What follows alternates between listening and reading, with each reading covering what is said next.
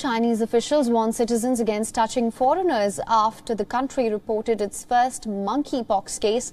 The chief epidemiologist at the China Center for Disease Control and Prevention, Wu Zunyou, posted the advisory on Chinese social media. The senior official said that it is recommended to avoid direct skin-to-skin contact with foreigners to prevent possible monkeypox infection.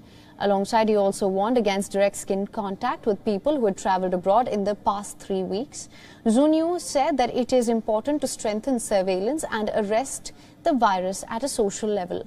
The health official's post received heavy backlash on China's Twitter-like platform, which is Weibo. Many even questioned why long-term foreign residents were considered more dangerous than locals. China's first monkeypox case was reported in the southern city of Chongqing in, on Friday. Pardon me. The person was an international traveler who was currently in a COVID-19 observing quarantine.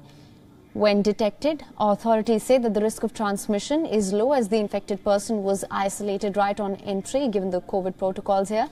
They also add that all close contacts of the person were asked to isolate and put under medical observation. Monkeypox cases have been reported in around 90 countries so far. The World Health Organization has declared the outbreak a global health emergency. More than 60,000 cases of the virus have been reported around the world. Some non-endemic countries have also reported their first monkeypox-related deaths.